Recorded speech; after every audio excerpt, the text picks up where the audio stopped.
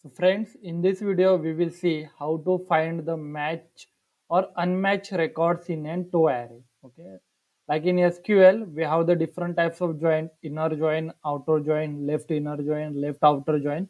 So this type of joins how to create in the Power Automate we are seeing in this video. Okay, so let's I go to the make dot Power Automate. Let's click on the instant cloud flow and take the manual trigger let's click on the create. Let's i will give the name to my power automate flow. Joints in power automate. Okay. So now uh, we not needed this copilot. So let's i cross this.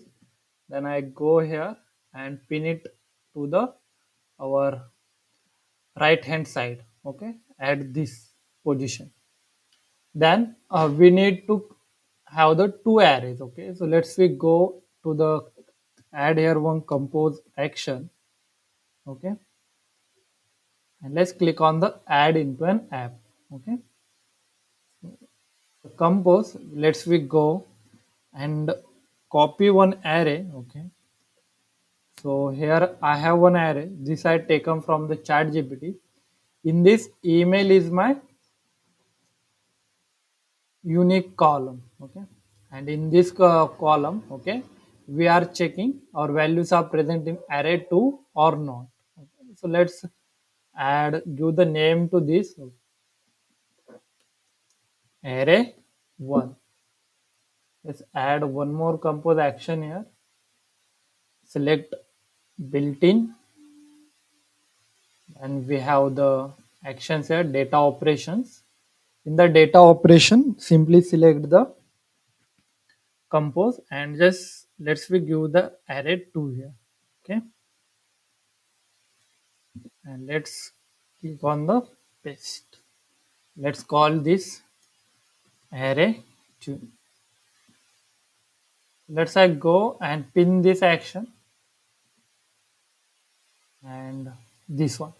So you can be see in our first one we have the user 4 user 4 is common okay? And one more is user 6 is common okay? So you can see here is user 6 is present and user 6 okay? So in the first okay? So let's we find the matching records in these two arrays okay?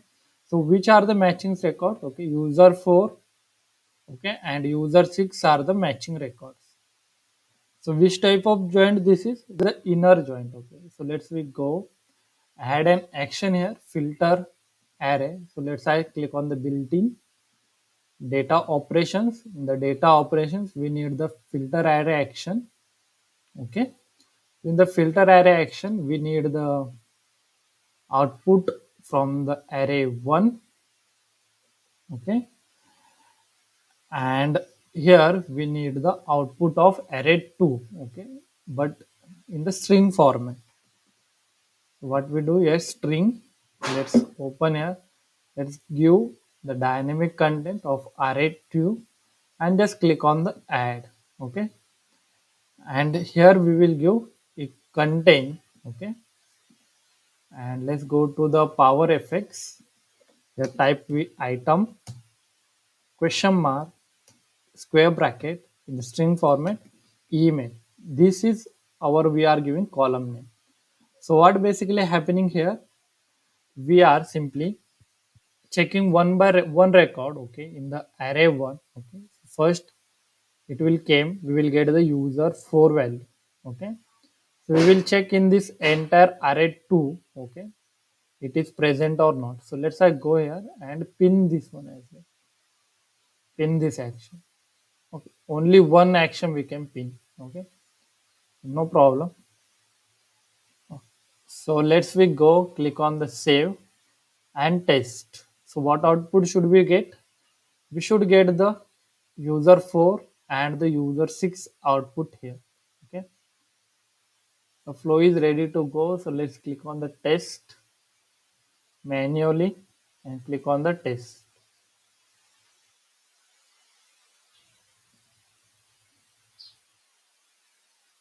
our flow is running. Just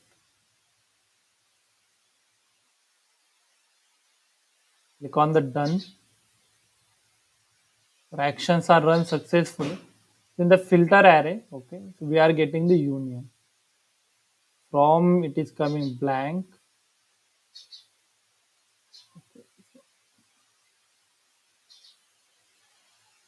Okay it takes some time. That's why we are showing the blank one now input you can be see we have all the records but in the output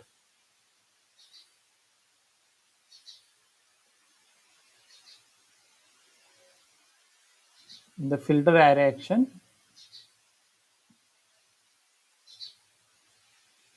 we are getting the two records okay? User 4 and user 6 okay?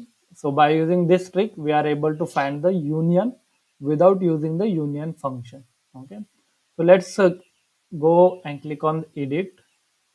Let's click on the filter action. Let's rename this. Let's call it here matching records. And let's add a comment here. Add a note. Union. So we are done the union. Let's we go add one more action here and this time we will try to find out the unmatched records okay? That is not matching okay? Excluding 4 and 6 we want all the records. So let's we go click on the here. Let's unpin this action. Let's use here action okay? Array 1 let's we go click on here okay click here string open bracket. Let's we go dynamic content and select the array 2 and just click on the add. Does not contain. We will use does not contain. Let's click on this Power Fx. Let's type here item question mark and let's click on the add. So let's we save this.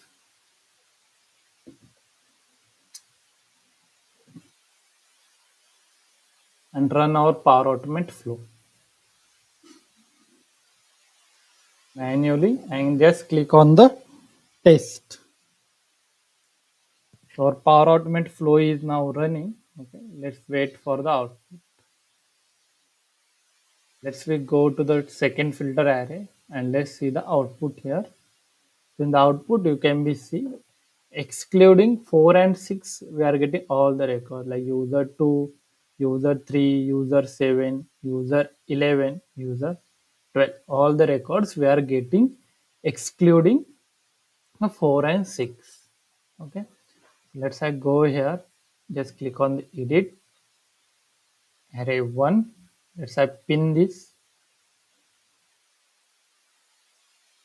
Click on the array 2 so what we are checking in the filter array 1 we are checking user 4 okay? Does not contain in this okay? So and we are getting this all the output like 5 6 10 and others as okay so let's we go here and change the name of this array.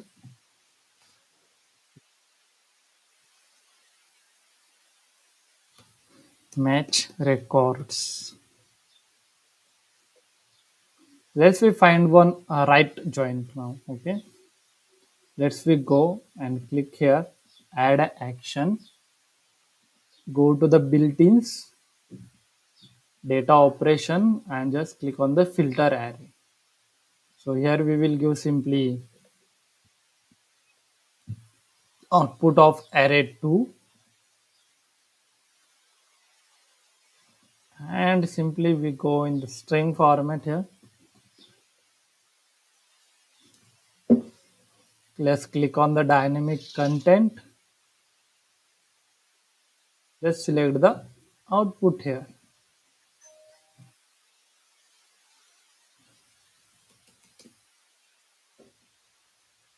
Just simply click on the add Power Fx. Type here item. Comma square bracket email. Just click on the add. Shama and then email here. Simply click on the add here okay? And on the basis of this you can be do the whichever joint you have to create? You can simply create okay? Like does not contain equal to greater than outer than less than st- start with okay? So according to your condition okay? So you can be create any type of joint okay? If you want the any help in this okay? You can pin me on the comment box okay? Because i think i explained the logic to you. All the things you can be easily do. Um, let's say i